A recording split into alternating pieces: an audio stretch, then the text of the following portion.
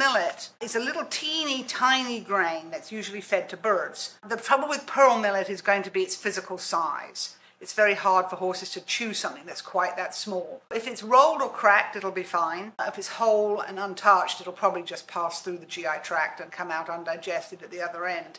Some will be digested, but not all of it. But it, as a feed, it's fine.